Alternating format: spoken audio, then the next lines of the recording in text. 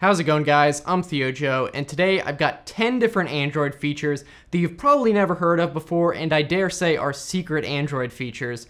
And some of these you may have heard of before if you're like super familiar with Android, but a couple of these I didn't even know about, and I'm a professional computer expert, so I think you'll like these. Before we jump in, I want to give a big thanks to the sponsor of this video, Dollar Shave Club. You may have heard of Dollar Shave Club before and assumed they only sell razors, but no, why would you think that? Come on have some imagination. In fact, they also sell hair products, skin products, teeth cleaning products, all sorts of stuff. You can get everything you need in one box delivered right to your door at a great price, so no matter what your routine looks like, you got it covered. And with their so-called handsome discount, the more you buy, the more you save. And actually right now they've got a great offer on their starter sets, so specifically you can get their shave, shower, or oral starter sets each for just $5. In the shave starter set, you get a bunch of stuff, including their executive razor, some shave butter, shaving prep scrub, post-shave dew, and even some extra razor cartridges. In the oral care starter set, comes with a nice weighty toothbrush and a trial-sized toothpaste tube.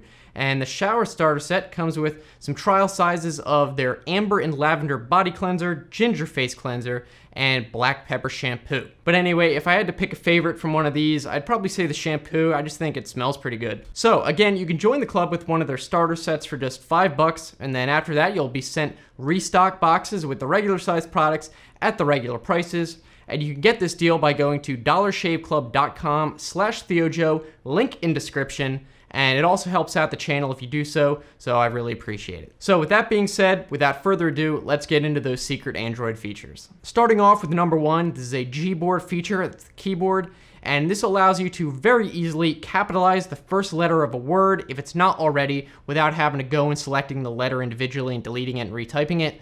All you have to do is double tap on the word to highlight it and then press the shift key or the shift button and then it will capitalize that first letter of the word. And there you go. Next up, number two. Now, obviously in Android, you know that when you swipe down from the top, it brings up some notifications and a couple quick settings right there. But did you know that if you actually swipe down with two fingers, you can automatically fully expand the quick settings menu so you don't have to swipe down twice like you normally would with just one finger. If you want to immediately get to that, two fingers down, and then it expands it all the way. And next up, number three is actually also related to the notification bar, and that is that instead of having to go and swipe down to look at your notifications, you can actually just tap and hold above or on the notification bar, and it'll temporarily just bring down a quick view of the notifications you have for as long as you hold it down. And when you, release it, it goes back up. So this might be easier if you just want a really quick view and you don't want to have it interrupting something you're doing.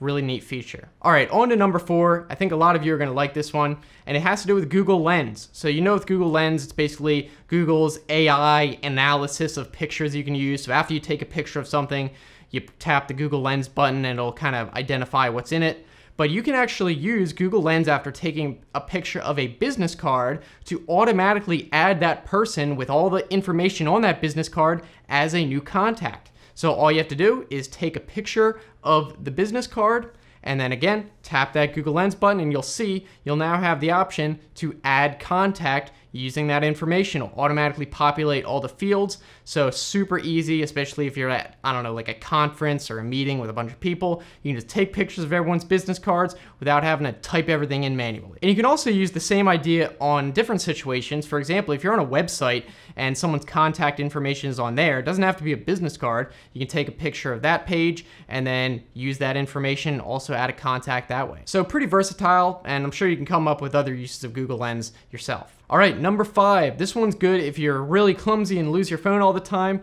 and that is the ability to put some custom text and information on the lock screen, such as your name, maybe your contact, email, something like that. So if you lose it, then theoretically someone can find it and return it to you. To do this, you go to settings, and then it might look a little bit different depending on what version you're using, but in Android 9, you go to the security menu, and then screen lock, and then screen lock message. You can type whatever you want there, and then now it will show whenever the screen is even locked. All right, number six, this one's a little bit more common, but if you never tried it before, you might not know about it.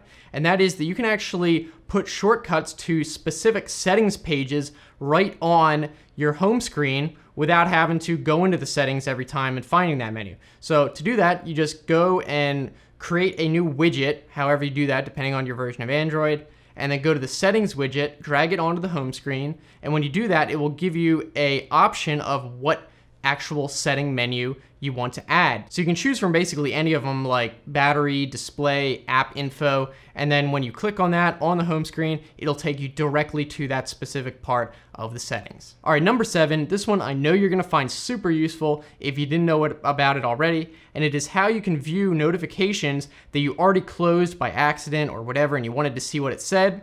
What you can do, kind of related to the last one we just talked about, is create a settings widget and then select notification log. Now, as far as I know, you can't get to this through the normal settings window, or if you can, then it's really hidden deep. But regardless, when you click on this shortcut on the home screen, it'll bring you to a log of every recent notification you've had and all sorts of information about each one. And if you want to see the specific text of what the notification said, you can tap to expand one of these notifications and look for the little field in the code that says android.txt and then that'll tell you exactly what the notification was, not just the app that sent it. So this one's super useful. I found it useful in several situations where, I don't know, a notification went away or expired or whatever, and I wanted to know what it was, and this came in handy. All right, number eight, this one has to do with Gboard also, and it is how you can enable the one-hand keyboard mode. So to do this, you hold down the comma key, and then it'll pop up two little bubbles and you want to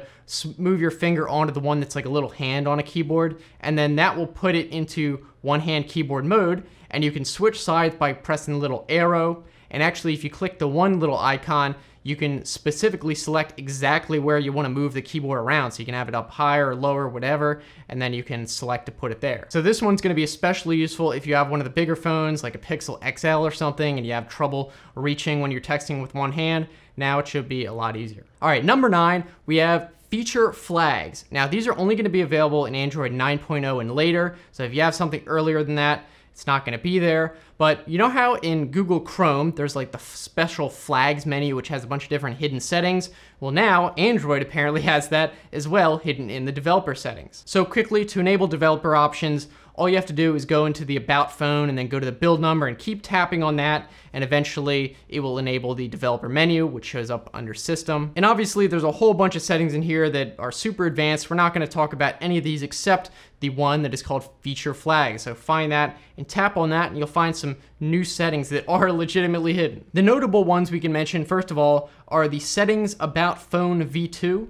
And when you disable this, it simply moves the About Phone menu from the main settings into the system settings. So if you find yourself, I don't know, never using that or you want to have a more organized settings page, you can just enable that. Then the next flag, which is settings Bluetooth while driving. No surprise, this will enable a new feature called use Bluetooth while driving. And you can view where this is by going to connected devices, connection preferences, and there you'll see this new option for use Bluetooth while driving automatically. And then the final one we could talk about here is settings zone picker 2. And when it's enabled by default, what happens is when you disable the auto time zone in the date and time settings, it'll just look more organized, like you can pick your region. It doesn't show everything at once. It's a little bit easier to use. And if you have it disabled, which I believe is how it looks like before Android 9.0, when you click select time zone, it just shows them all at once, so it's a little bit harder to use. So if you prefer it that way for whatever reason, you can turn this off. All right, number 10, you may already know about this, but in every single version of Android, there's always a secret game or Easter egg, and to get to it, it's usually the same. You go into the settings, and then go to About Phone or wherever it shows your Android version, and then you simply keep tapping on the number. In Android 9 here, you'll notice when you tap Android version, it pops up another thing, and this is actually where you keep tapping the number where it just says 9. So you keep tapping on that, and it will pop up this fancy logo looking thing, you can tap it to change the colors, it will be very pretty, whatever. And when you keep tapping the screen a bunch of times, it'll actually bring up this little Microsoft Paint looking type thing where you can draw whatever pretty cool, not really useful, very rudimentary, but it's still cool that it is kind of hidden away and you can use it however you want. Obviously, this type of thing is more of a novelty, but each Android version, depending on the one you have, will be a little bit different, so it's just fun to check out. So those are 10 different secret Android features. Let us know down in the comments if I missed any, and also be sure to check down there, because other people might know some that I did not. And I'll also put some other videos right here that you can click on with some other features about Android that I've talked about in the past.